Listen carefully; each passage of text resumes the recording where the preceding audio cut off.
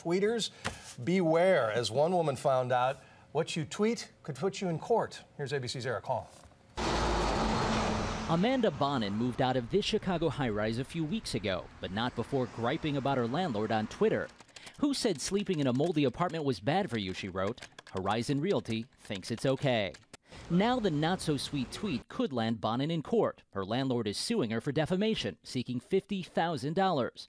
What began as a remark to just 20 followers on Twitter has now sparked outrage throughout the web. You know, the internet is, is a free place. You know, you can say pretty much whatever you want. Bonnen has refused comment and has since closed her Twitter account, but Horizon Realty is talking.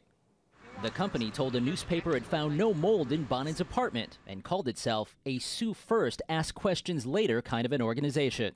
Defamation applies to a false statement of fact that injures reputation.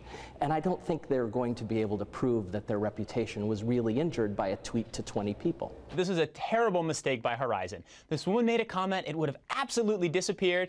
But people need to be aware that putting something on Twitter is the same as making a public statement in a lot of ways, so you have to be careful about the potential legal consequences. This isn't the first Twitter lawsuit to be filed. Singer Courtney Love was recently sued for libel after blasting her former fashion designer on Twitter and MySpace. Increasingly, social networking sites are being used as a cyber bullhorn. We found scores of I hate my landlord discussion groups on Facebook. And some doctors are so wary of websites that rate their care, they're asking patients to keep their comments off the internet. I'll respect the patient's privacy, and they should uh, respect my uh, privacy as well. Don't sue me. This latest Twitter lawsuit is enough to give users pause. If there's something that I would think that would might haunt me, then I'd probably not say it. For some, being bitter on Twitter could prove expensive. For Good Morning America, Eric Horng, ABC News, Chicago.